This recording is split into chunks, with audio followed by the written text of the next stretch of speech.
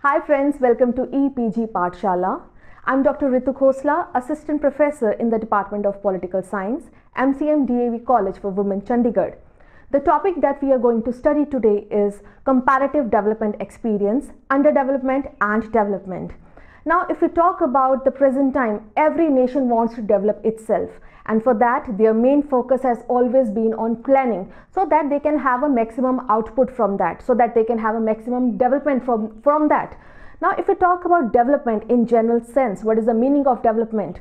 Development means when a society it moves from a lower plane to a more complex form of society and more development is there in terms of social change also but the thing to be remembered here is that the social change is not the only requirement, but it is also to be kept in mind that how quickly people they are able to respond to these social changes.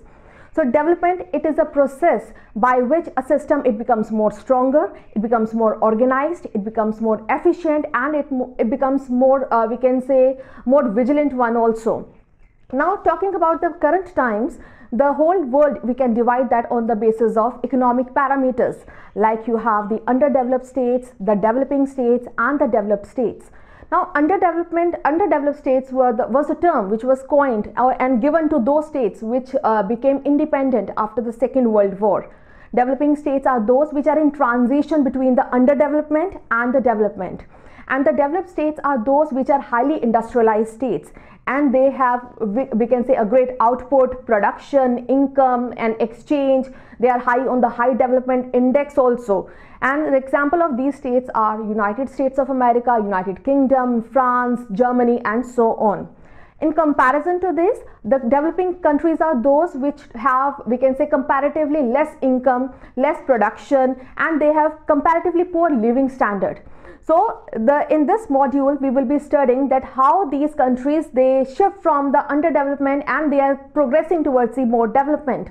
Now, if we talk about these developing states, they are also known by the names of less developed states and the third world states. Now let us continue with our further study. The challenges to the political system are many, especially in the path of development. There are some who say that the developing countries have benefited from the experiments of the developed countries. The successes and failures of the developed world have helped the developing countries which have had the advantage of jumping a few stages of development, though it is not so. Now, what is development? Some analysts talk about attaining a certain level of material prosperity. There are some who evaluate development of a country according to the per capita income, and still other who talk about human development. Amartya Sen is very optimistic when he talked about India's development. India has been many years ahead of the West in introducing its own programs of affirmation action and positive discrimination. Development also means fulfilling the basic needs of the people, and what might mean development for one country might not mean for the another. Though there is no universal criteria to define development or underdevelopment, yet some consensus is there. Underdevelopment means that how is low human development index in comparison to other countries. The other criteria is that people have less income and low life expectancy. There are plenty of factors that hinder growth like malnutrition, political instability, diseases, narrow parochial ties, and traditional social structures. The aim of development is to fight poverty and not to accept misery and injustice. It also means having a long as well as short term goals. The term development talks about some areas of the world being poor and the other rich. Development is not only concerned with economic growth. The latter does not guarantee, for example, people's happiness or higher levels of literacy. The environmental costs of development are staggering. Development means, according to Gunnar Myrdal, the Swedish Nobel Prize winner, rationality, planning, better and improved standard of living, decline in social and economic inequality, efficient and effective institutions, increase in production per capita, and political democratization.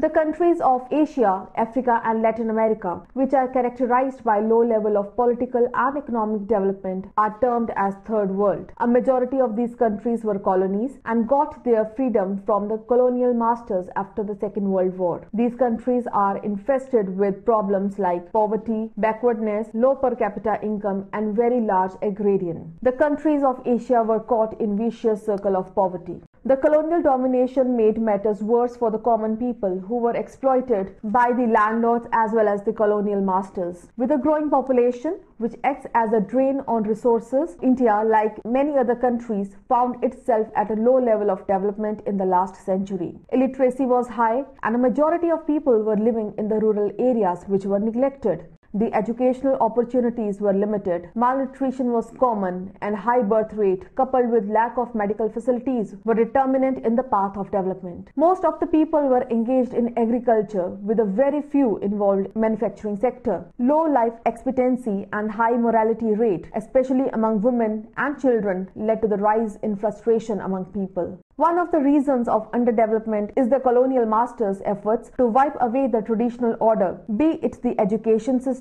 or its culture. The loyalty to a group is narrow, which is looked down upon by the colonial masters. In Africa, for example, the patron client relationship was the order of the day, which was broken by the colonial masters, that led to a lot of upheaval and turmoil among the tribes. The underdevelopment experience of these countries has a mixed bag. They survived in a traditional order and progress was slow as compared to their counterparts in advanced industrial countries. The choice was to continue on one's own path or follow the path dictated by their Western counterparts. Poor states were underdeveloped and thus needed to develop. There were intense debates as to whether development was possible under the current world economic system, but the goal itself was less at issue. The consensus is favor of development, ranged from the free market liberals to dependency theorists via old style Marxists.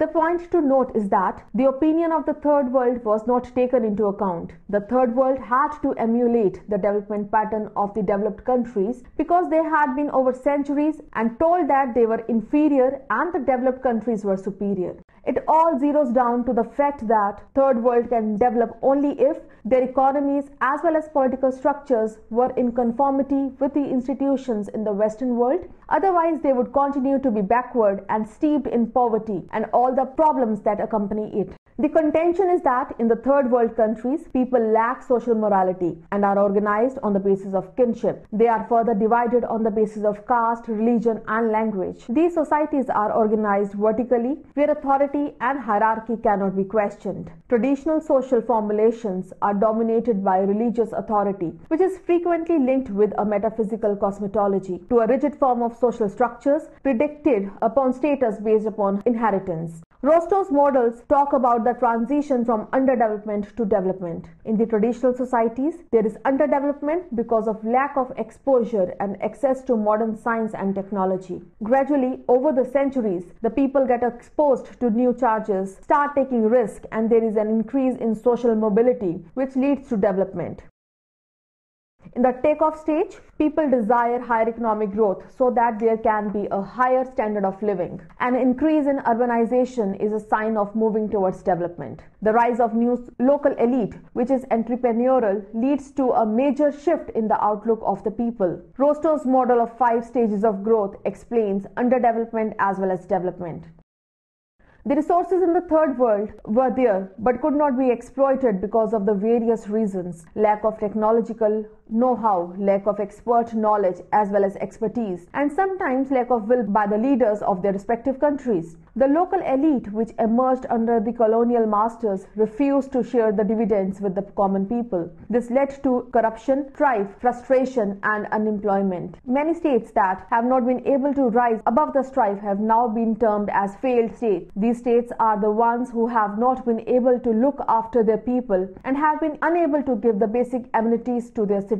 Many third world nations' experience have not been rosy. Political violence and social unrest are the part of underdeveloped countries. Lack of security for the citizens is a major concern. The underdeveloped experience of these countries has been horrifying for they have been subject to rampant greed as well as human rights abuses. Underdevelopment was characterized by numerous problems. The underdevelopment experience further worsened because of the natural calamities like that of earthquake in Haiti in 2010 which pushed the poor country further into debt running into millions of dollars. Further, the powers like France, United States, United Kingdom, etc. interfere in the economy of the underdeveloped countries. This interference means nothing but a process of empire building by the powers. Angola is a country which is being held by China, but the latter dominates the former. Underdevelopment is because of the low division of labor, as also because of the traditional attitude of the population. These and many other internal factors like lack of communication, backwardness, and low per capita income are responsible for underdevelopment. Lack of motivation is another factor that leads to underdevelopment. The economies of the third world countries are equipped to meet the needs of the industrialized economies. So the underdeveloped economies can boast only of a few economic activities that can be termed as modern, like plantations, mining, etc. It is the industrialized countries which are the main buyers and only they decide the prices. The terms of trade are decided by the big powers. The third world countries can only protest that too meekly. Countries like India played its card carefully and slowly put it on the path of development. Iraq, Algeria, Kuwait, Saudi Arabia, Nigeria, Oman, etc. have been able to rise only because of the oil export. Afghanistan remained underdeveloped because of continuous internal unrest, which has led to disruption of trade a landlocked country, inefficient trade led to its being undeveloped for a long time. The countries in Latin America are infested with the problem of overpopulation and poverty. People are homeless as well as unemployed. Malnutrition, high infant mortality rates, and low per capita income makes this area underdeveloped. Many countries in South Africa are underdeveloped because of resources not being properly managed. Corruption is said to be the biggest factor that has kept Africa underdeveloped despite the immense resources. Paul Baran says that capitalism, because of its inherent nature, exploits the third world. He says it is in the interest of the developed countries to keep the third world dependent on them, as the latter are sources of raw material. These countries at the periphery producing agrarian goods thus remain underdeveloped. Countries like Spain and Portugal, among other Latin American countries, could not transform themselves into modern industrialized nations because of lack of efficient management of resources. Andre Frank contends strongly that the West could develop only at the expense of the exploitation of the countries now called the periphery. The developing countries are presently called the countries at the periphery. periferii. Now, talking about the development experience of these countries, the development experience of countries in Asia, Africa, and Latin America has been similar yet deficient in many aspects. But certainly, certain traits are common for development to take place. To quote, with the rise of reason associated with the Enlightenment came an intense spur for science and technology and an attempt to explain the world. At the same time, reward systems based on merit rather than intolerance for fostered a climate of incentives for innovation and and efficiency. Unquote. India has managed to call itself developing because it has used planning as a major tool. India has an agrarian economy and it graduated into industrial sector but jumped into the services sector. Uh, China has graduated from an agricultural economy to an industrial economy. The latter has helped it to produce in greater quantity to cater to the mass consumption. In China, the economy is strong but lack of political democracy questions development. The developing countries only have the developed industrialized economies as their role model, and the endeavor is to search this model as quickly as possible. Development can be observed when there is an increase in production as well as per capita income, which would be accompanied by better living conditions of the citizens. One of the prerequisites for development is that capital intensive industries are sought after. High division of labor and high risk taking by the population leads to development. China's development is an example to prove that economies move through different stages. Development comes after a lot of pain and struggle. The third world countries have gradually moved ahead by balancing the various aspects. These countries have managed to shrug off the foreign control to a great extent and have planted themselves firmly on the path of development. Andre G. Frank believes that development process occurred in the periphery after the First and Second World Wars, when the metropolis or the mother country's control weakened and the periphery associated its freedom through a revolutionary break from dependency. The process has now to continue.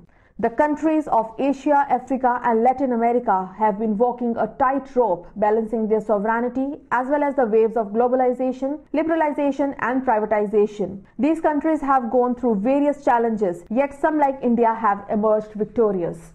Many underdeveloped countries in these three continents, Asia, Africa, and Latin America, have allowed multinational corporations, popularly known as MNCs, to enter their territories. But the experience of some of these countries has been mixed. No doubt, these countries have developed in the modern sense, yet the feeling that exploitation continues by the developed countries through MNCs persists. MNCs are still thought to be an instrument of the developed countries to exploit the developing countries. This is probably because they owe their origin to these countries. But one cannot wipe away the fact that the third world countries can boast of having better living standard because of the entry of the MNCs. MNCs have helped in the transfer of skills from the developed countries to the underdeveloped. But the fact is that the developing countries continue to lag behind and are still dependent on the big Western powers.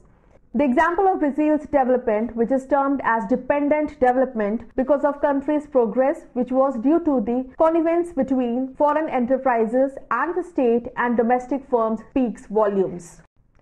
Okay, friends, now let us conclude that what we have studied till now.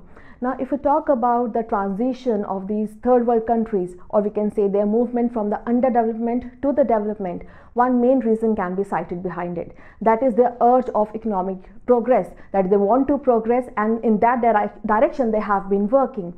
Despite all the troubles, they are surging ahead. Now, if we talk about the countries like Bhutan, they do not believe in the traditional concept or the traditional definition of democracy. Rather, they check their, or we can say they calculate their progress in terms of national gross happiness. But this has not been accepted by the various other states. However, we can't ignore the fact that there are so many other issues which are prevalent and which are creating hindrance in the path of the development of these third world countries. These include the growing population, poverty, inflation. We can talk about the lack of skilled uh, labor over there, the lack of techno uh, technological know-how, and so on. And most importantly, many of these third world countries they are dependent upon the developed states. So if these countries they want to move uh, very smoothly towards the path of the development, then they need to readdress these issues. Thank you.